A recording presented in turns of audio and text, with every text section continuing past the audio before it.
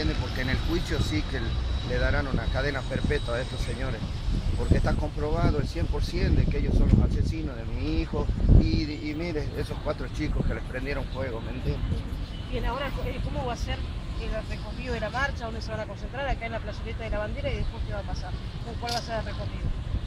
Eh, bueno, eh, sí siempre se tocan los puntos en donde la justicia determina, pero en sí quería hacer un reclamo frente a la Casa de Gobierno y hablarle a los señores gobernantes que, que hoy nos manejan nuestra vida, de que, de que no, no, deben permitir, no deben tener ellos empleados en la administración, o sea, digamos, en la policía, bueno, parte de la administración pública, la policía, o sea, eh, eh, empleados de, de, esta naturaleza que decidan por la vida de nuestros hijos, que, que, para ellos es un día más hoy en día porque están en libertad, viven impunes.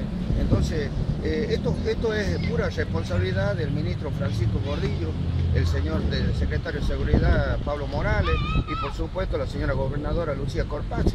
El caso de mi hijo pasó justamente cuando estaba como gobernadora esta señora, como, y todavía lo está por supuesto, pero ella no toma las determinaciones que corresponden. Tal es así estos chicos también que murieron fue cuando estuvo el señor Brizuela de Moral.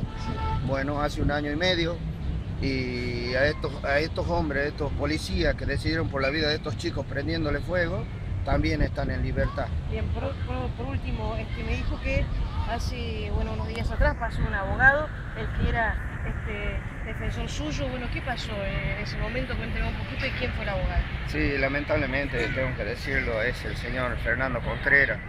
Pasó por acá eh, con un policía de civil. Como yo todos los días repudio esto permanentemente, lo estoy diciendo a la sociedad que nos ayude, que se acerque a firmar, y porque también estamos por hacer esta coordinadora contra la represión policial. Y no le gustó nada porque yo dije en ese momento, porque estaba, mientras hablaba decía, porque la impunidad que permiten algunas personas y hace que estos vivan en libertad. Y entonces toqué el tema justo del abogado y justo pasaba él y me miró y bueno, con el policía me hizo con la mano hacia por el cuello, digamos, como que me, va a matar, ¿me entiendes? O sea, son cosas que, que están pasando. Esto pasó como a las nueve y media de la mañana. ¿Hoy pasó? Hoy pasó.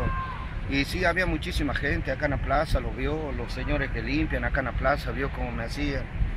Bueno, Alejandro, muchas gracias y bueno, ya está la, invitación hecha para el 14, ¿no? Para que la gente se sume a la marcha. Ajá, y yo te quería contar que este abogado, Fernando Contreras, eh, dejó que el comisario Rafael Dionisio Méndez hoy esté en, ¿cómo se llama?, sobreseído de la causa, en libertad.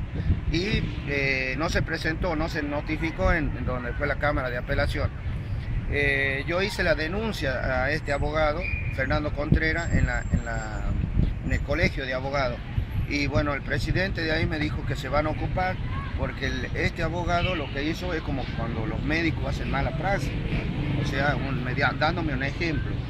Entonces eh, es culpable en todo su sentido, dice, ellos se van a ocupar de sancionarlo en su momento ahí.